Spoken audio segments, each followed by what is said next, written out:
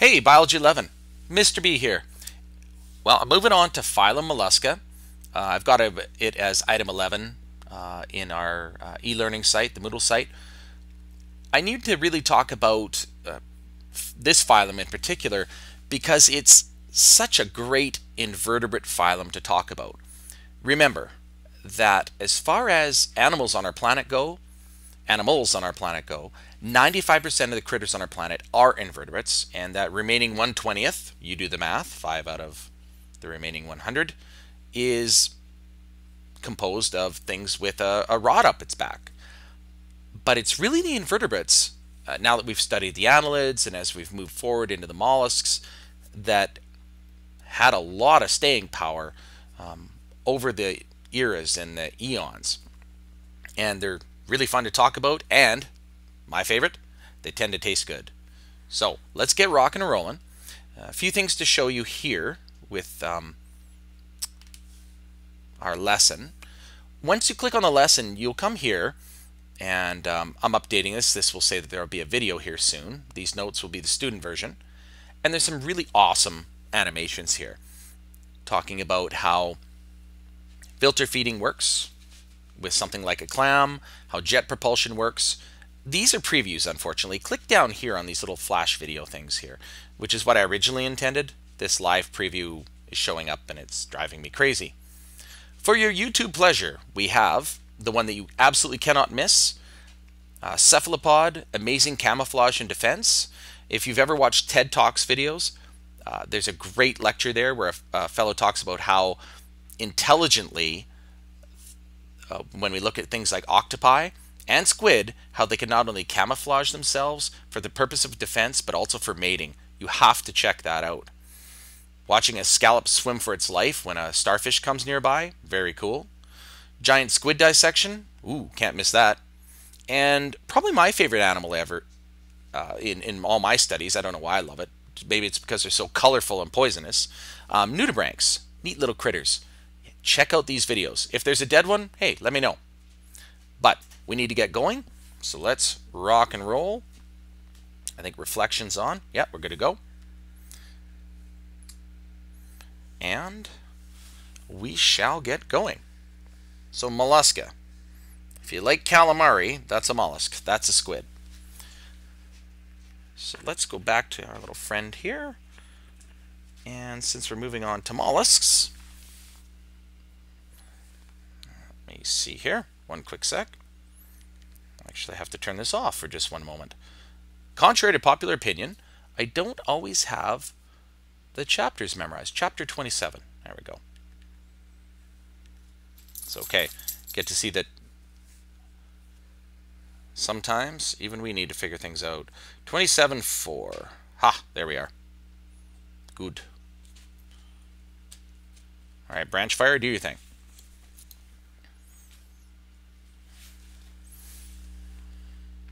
All right, so the mollusks. Phylum Mollusca, I mean, when I think of a mollusk, I think of something soft-bodied, right? Which would be a squid.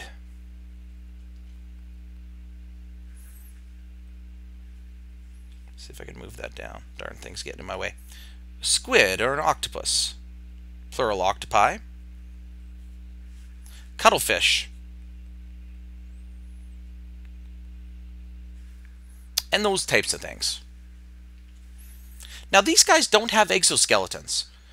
We're not even at that point yet. When we move on to the arthropods, we're looking at things where a skeleton on the outside sort of becomes a possibility. Not so, not now. We've really only sort of stepped out of the soft-bodied annelids and moved into their more advanced evolutionary cousins, the mollusks. So in order to be a mollusk, what do you have to be? Well, here you go. I said it and I meant it. You have to be soft bodied. And as far as a shell goes, um, you should look at something like a, a cuttlefish, for example. Um, let's let's take a quick little tour here. If you look at cuttlefish, um, you'll immediately recognize what we're talking about here. Right, looks kind of squid-like. It's kind of cute. They have a little internal shell, and we take that out of them and um, you'll see it being used uh, with parrots, for example. Um, they use it to sharpen their beaks. Right? If we do a quick tour of the mollusks while we're here, let's just let's just meet a few. And a quick tour by Google will always do it. There we go. So, our friend the octopus. This guy is known as a nautilus. Um, and yes, they named Captain Nemo's submarine after that. Here you see the shell kind of external, interesting eye. You see the tentacles. Um, anytime you see this sort of head attached to these weird long arms, these feet, we call these the cephalopod mollusks. These guys are also mollusks. There's a they're they're bivalves, meaning they have two valves. So they have a soft body inside there. Again, another mollusk. This one, a snail, uh, obviously related to slugs, has an external shell. Yes, calcium carbonate. And we get wonderful shell arrangements. And the twisting of the shell, we call that torsion, right? It's kind of an interesting concept. A few more things, mussels, limpets, oysters. Hey, let's meet all the mollusks. They're delicious. And a really neat picture here of just about everything you could see. The ones with the shells, the ones without the shells, um, octopi, nautilus. It just goes on and on. In fact, I'm a big fan of taking a quick tour through something like Google Images. It's neat on an iPad because I'm just sort of flipping through, checking them all out. And slugs are really just like these guys. Sans are without the shell. Right? So let's pop back to our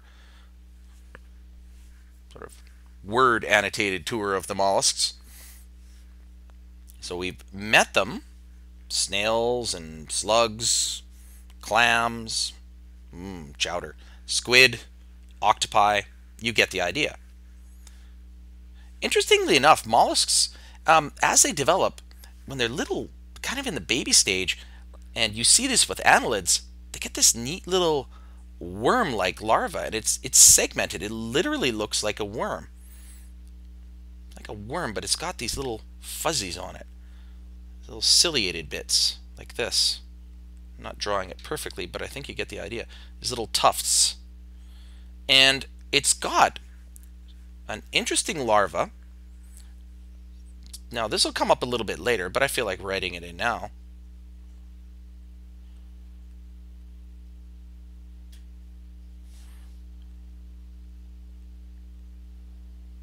Which is very annelid-like. And I'll always tell you this, pay attention to the development of the larval stage because it tells you a lot about what an organism may be related to. Annelid-like. Let's put the like in there. There we go. Neat. Course, it has to be on the next slide. I think I liked mine a lot better, though. Um, this is just a smaller version of it, but there's your trochophore larva drawn all pretty, right? And this is something you see with annelids, so it's a it very much makes them kind of look like a worm part of the time.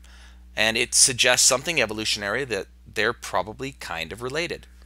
Check out that digestive system on the inside. It's kind of sneaky how they do that. There's the mouth right there, and kind of looks like the crop and the gizzard, right? Leading down that long intestine, which is really all that an earthworm kind of is. Giant intestine plowing its way through the ground. Food in, food out. But they differentiate. They don't stay like this. They become, uh, as, as their DNA is fully expressed, you get the snails and the and the bivalves and the cephalopods like the octopi. So what is it? There's four characteristics, and I wish, I really wish, that they'd just written them out. Here's what all mollusks have, okay? Put a star on this because it, it's always testable. One, they've got a foot. Now, by a foot, that may mean its arms. It's, it's basically what it uses for locomotion. Now, I know we have feet, and in an octopus, it's pretty obvious. The tentacles are kind of the foot, and they're attached to the head almost directly. That's why we call them cephalopods. Cephal means head, it literally means head foot. In these guys, there's a little, kind of if we broke them open a little bit, you would see that their body is kind of back there underneath. But then as it comes forward, there's this, you can almost, you can see the little muscular serrations on it. Their digestive system and more or less most of their bodies up here, but then you get this interesting little region right here that we call the foot. And they use it to dig into the down into the dirt and they can they can bury themselves deeper and deeper because what they want to do is sit underneath with their siphon sticking up like this and do some filter feeding right taking in stuff from the water column and pulling it in and then releasing waste products. So they will use that shovel-like foot to, to get down deep into the uh, down deep in well not too deep but just down in the sand. It's also protective. So they've got a foot. It's used for locomotion. It really is. They've got something called a mantle, and that's item number two. That is a thin layer of cells that can make a shell. Doesn't have to, but it's I, I tend to think think of Superman's back, right? Right about where his cape would be, and if, if I guess not Superman, maybe more aptly Teenage Mutant Ninja Turtles or something. There's got to be a layer of cells that actually secretes the calcium carbonate to make the shell, and that's what I'm talking about with the mantle. We'll look at it in more detail. The shell may or may not be present, but it's important enough to make item number three. And the visceral mass, okay, when you hear the term visceral, you should think gut. That's what they're talking about, the gut mass. And if I switch pens for just one second, the visceral mass, let's choose a nice kind of uh, green, would be this, where you would find the stomach and the gonads and all that kind of stuff, right? And in something like an octopus, it would be up kind of in that large, sort of pronounced kind of head region. So let's go back to precious blue, at least for now. So those are the four characteristics you need to know. And it's think of foot, mantle goes with shell, and then there's got to be a gut mass known as the visceral mass. Moving on. Okay, so you can pre predict how this is going to go. Um, the muscular foot, since they all have a foot, what does it look like? Well, in something like a snail, we call them the gastropods because they, their stomach, their gastric region, right? Their foot is down here. So they're crawling around on their bellies, right? So we say these are the stomach foots. So this region here, I'll just highlight it. It's red, but you get the idea. And in a clam, you've got a foot here, right? Shaped kind of like the spade of a shovel. So they call that their foot. And over here, the foot now, I, I, I, you're probably saying, well, why are they including their eye and everything there? Okay, if it makes you feel any better, really, where are you? There. The foot region, yes, we are kind of talking about this, right? But it's attached right to the head. So it's why we kind of call these guys the headfoots or the cephalopods. These guys over here are a little more boring. We just call them bivalves. We don't call them the shovel foots. It doesn't seem to work that way. Somebody thought that was boring, right? So they, because they have two shells, we call them the bivalves. True story. Okay. As we go through the course, I always expect you to think not only how are they defined, but what are their body systems? So feeding, let's be a little more obvious. Let's call this not just feeding, right? But let's think of it as their digestive abilities sort of uh, examining their digestive system. So what do we got? Well, we've got snails here doing a lot of damage to this leaf. So uh, herbivores. Okay, we get it. You can also see that if a lot of snails, if they find um, a lot of aquatic snails, if they find a bivalve relative, they will, will literally, um, they've got this very interesting tongue. It's like a buzz saw. They will lick that shell until they create a hole and they'll stick that tongue down in there, known as the radula, and they will just literally just lick up the bivalve. They'll just they'll just eat it piece by piece by piece. And what we find is we find these shells of the bivalves with these holes bored in them. And that's usually caused by these carnivorous snails uh, that will literally just buzz saw their way right through that shell. Um, filter feeders, a lot of our bivalves are just more or less holding up a tube and inhaling the, from the water column, and they're filtering anything out of the water column that is of food value. Uh, detrivores, well, I kind of think of saprophytes. Detrivores, this is decaying material. So detrivores will pretty well eat any sort of like dead thing they come across. So it makes them kind of important. The term parasite, you know about herbivores and carnivores, right? They're off eating things, right? That's heterotrophy. Filter feeders, they're just capturing whatever they find. Um, mostly algae, if you think about what's coming into clams. When you open them up, they're almost all full of algae. So when you eat a clam, you have eaten not just their gut mass, not just their foot, but a whole bunch of highly nutritious algae. There you go. It's going to make it a little harder to eat clam chowder next time, isn't it? And then there's parasites, where in this case, um, you got to think about it. They are acting in a very parasitic way. Parasites don't necessarily kill their host, they'll just sit there and live off them. And these plants are being parasitized more or less by these snails. Sure, they're parasitizing a plant. To parasitize something means to to injure it, to live off it, perhaps kill it, perhaps not, right? Like if you get worms in your body, right, you're being parasitized. Here's that um, radula I wanted to tell you about. Now, in this case, what we're looking at is that radula licking action. That's how a lot of snails will get the algae off the rocks. So this is an interesting little evolutionary feature to help them feed themselves. But if you look at that radula, it's a pretty impressive little piece of hardware. Um, it's got these little silica-like teeth. By silica, you know, I mean sand. So these little tiny teeth are attached to the radula. We get it. And sure, it's scraping algae, but boy, oh boy, it can also go after soft tissues and not just plants. So let's pop out for one second and let's look at a snail radula. And it, the radula, you can't just expect to find that more or less only in a snail. Um, if you look at some cephalopods, they have a poisonous radula, and not just cephalopods, but literally, it looks like a chainsaw, doesn't it? Wow. Lots of those little teeth. And if you look at an electron micrograph of it, you can see these little hard little flakes. Right? There's a tongue actually looked at a little more closely. Neat visualizations of it.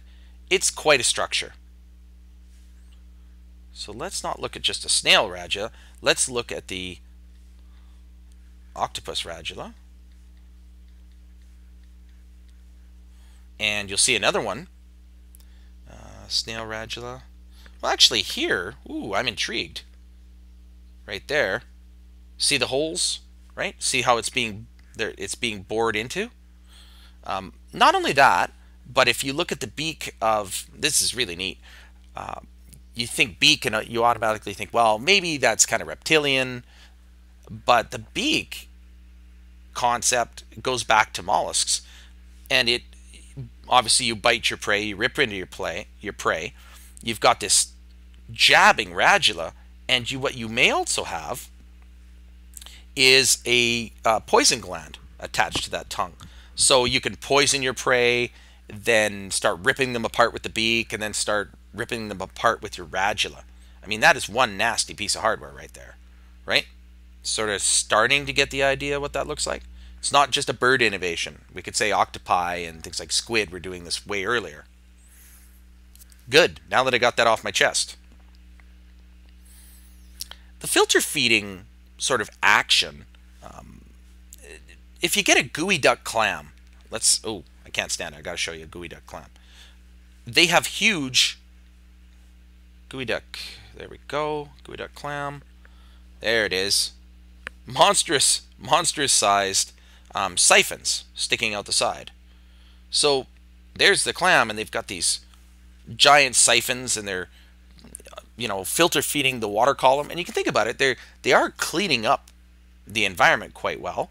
Not only that, you have to understand if they go to reproduce, they will expel um, reproductive cells like sperm. They'll send that out, and the females will inhale it and use it to um, fertilize their eggs.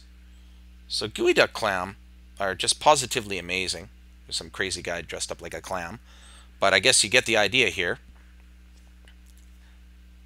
And there they are doing their thing live. Now, that brings us back to the siphon, and you do need to know the difference between the two um, the two currents. Let's choose orange. So you get an inhalation here. I think I'm going to switch up colors. Let's go with black. You get inhalation here, and really what happens is it's passed over these gills. Now these gills have sweeping cilia on them, and they move, and you, this is cut away, but what really happens is they move the algae, things like that, closer over to the mouth, and these little palps bring the food in, and then you can see where it goes, like that. So when we study these in the lab, you have to look at the gills and see that they're not just for respiration or for carbon dioxide oxygen exchange. They're sweeping food over towards the mouth. And in it goes. In case you were wondering, by the way, these are muscles. These are the adductor muscles, and they're what holds the lid closed on the clams so that they don't get eaten or consumed. The excurrent siphon sends away waste. Um, you can also send reproductive cells like sperm out of there. Right? Um, yeah, excurrent siphon. Uh, off goes the carbon dioxide, the used up water. I think you get the plan. Respiration, well, I already referred to it, didn't I? They breathe uh, using these structures here, the gills. And it's kind of silly because of this cutaway portion, but your gills are kind of in pairs and you can pull them apart and you can see there's lots of surface area on the gills and it's just basically simple. O2 in and CO2 out, just like in us happens inside the mantle cavity. Now, this is going to sound a little bit weird, but in us, let's switch colors so this is a little bit more obvious. Red. If you look at our blood, it's always traveling in a vessel. I mean, it starts in a blood vessel and it ends in a blood vessel. In these guys, it's not so. Sometimes the blood is literally pumped out of a vessel so it sort of reaches the end of the vessel, like this, and it's sprayed over the organs, and then the blood pools back in to a sinus. I guess you can almost think of that as a drain, to then make a trip back to the heart. The heart is, is busy pumping blood through the blood vessels, and that blood's going by the gills and it's picking up it's obviously picking up um, oxygen, exchanging carbon dioxide, but then there's this weird spraying of the blood, like this, over the internal organs, and subsequent recollection of the blood to send it back for renewal. So what we call that, when you get this sort of interesting system, what we call that is an open circulatory system. There are times when it's open and the blood doesn't always pass through closed blood vessels. Now, we say this is a very simple heart. All this thing really does is receive, pump, and just keep the blood circulating around. It's not like us, where we've got this fancy uh, double pump system. One half of our heart is sending blood to the lungs, and the other half is sending it out to the rest of the systemic side of the body. And or uh, this is, I mean, really, this is ridiculously simple. Um, not uh, um, an evolutionarily designed pump for land use. We need a we need an amazing heart because we have a lot of demands, physiological demands by being on land. Just try going for a run and realize just how amazing our hearts need to be. Or birds soaring through the air. They have to have excellent circulatory systems. These guys, they don't do a lot of moving. So spraying the blood over the organs and getting all that all the nutrition that's in the blood on exchanged with the tissues, that works pretty well. Ooh, nephridia. All right, what does that mean? Well, the nephridia that you know is in your kidney tissue. So when I say nephridia, you think kidney tissue. In us, we're fairly advanced. We put all of our kidney tissue together and made a couple little organs at the base of our back, like that. In this case, these guys didn't do that. If you went around searching for their kidneys, really what we're looking at here is we're looking at, and they're not saying this, but um, what kind of, what's kidney tissue for, right? It's for your excretory system. So let's write that in. Excrete or re, there we go, system. Come on, work with me here.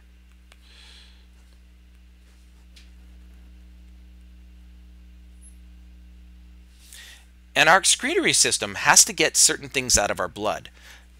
If you've uh, if you've ever known anybody that's had uh, problems with their kidneys, they have to go on low protein diets because a lot of protein, once it's broken down in the body, forms this substance known as ammonia.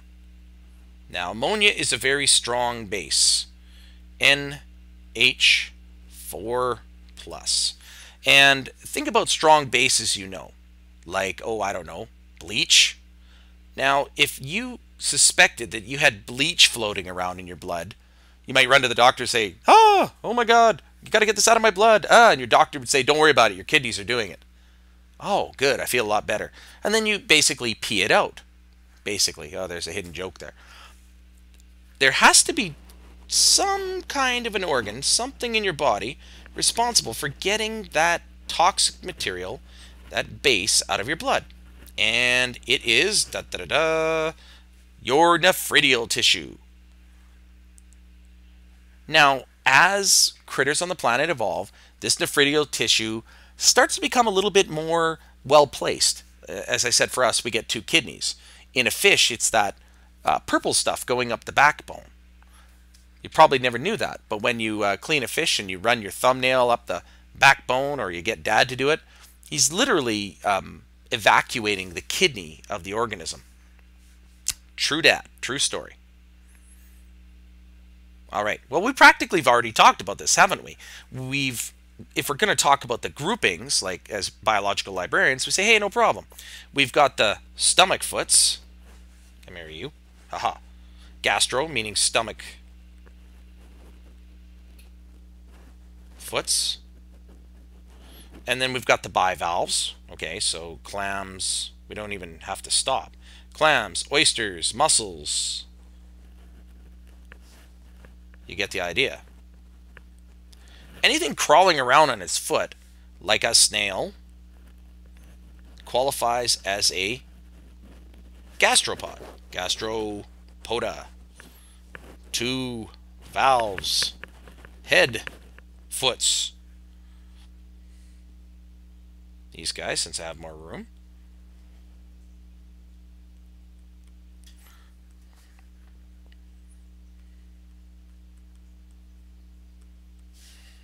Okay, so octopi.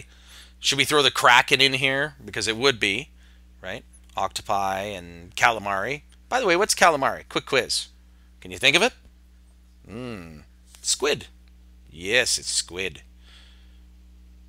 And I saw on CNN there a few weeks back that they had spotted a giant squid cruising around, actually live. We always seem to capture them when they're dead, but it's nice to see one that was alive. So Discovery, um, the Discovery Channel has a neat bit on that. You should check it out. Just Google Discovery Channel, giant squid, you'll be there. So the gastropods, bit of information. I think we know this about them already. Gastropods, like snails, can uh, they don't have to have shells. I don't get caught up on shells, but um, it's just a single shell. It's not like they have two. They're not a bivalve, and the they because they cruise around on their stomachs, we say that's their ventral side, and yeah, that's that's a form of protection that they'll use. They don't have to. It's neat when it twists. Um, that's not really covered in the book, but the twisting of the shell, this kind of pattern, where you get the really neat kind of you know, conch, right? That is called torsion. And believe it or not, there's a mathematical pattern behind that. Mathematicians, if you've ever heard of a Fibonacci sequence, that's what governs how that thing um, basically twists. We won't do that here. I'll leave that for Mr. Karangi or somebody like that. So here's some representative members of gastropoda. Snails, slugs, um, sea hares, sea butterflies. I should show you what a, a sea hare or sea butterfly look like because they're not exactly showing them. So, uh, sea hare. Let's go with images. There we go. Just kind of these interesting snails. Um, in fact, at the start of our um, presentation, you saw this guy. They're kind of snail-like. Pretty neat as they cruise around, right? Looking like that. And um, sea butterfly. There we go.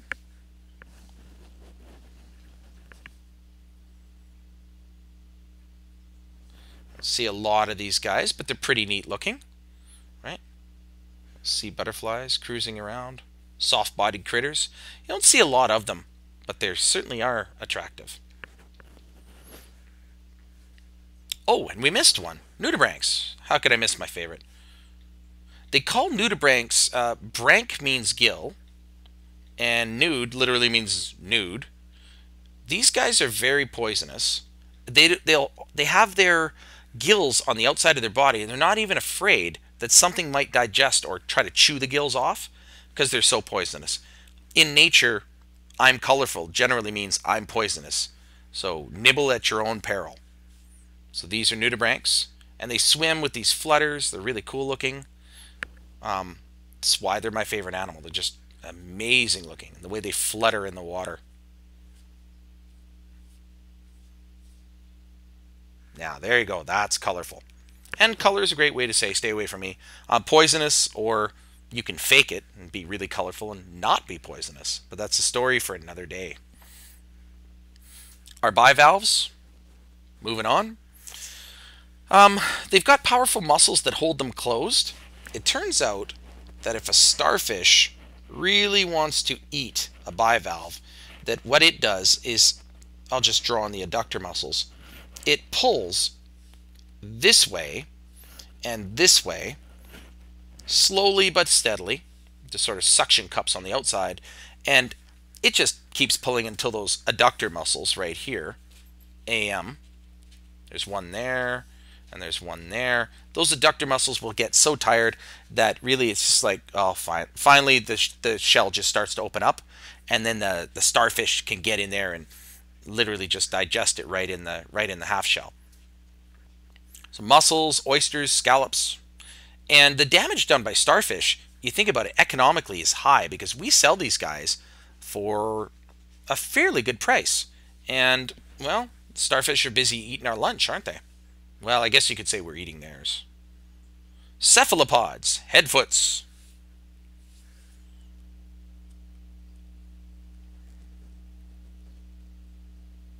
All right.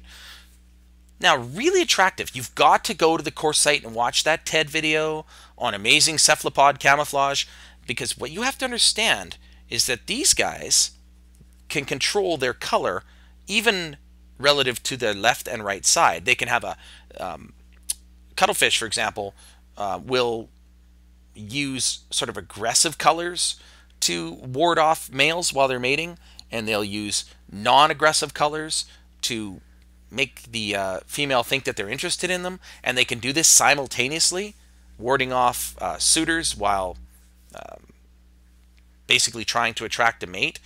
Octopi can do this. They can change color, and uh, once we studied it, we found what we found out what they're doing is they've got a lot of color built into their bodies, and that they're using muscular contractions to hide or expose certain colors when they want to appear angry. So if they want to appear red, they'll move the muscles in their bodily tissues in a way where you see all the red coloration.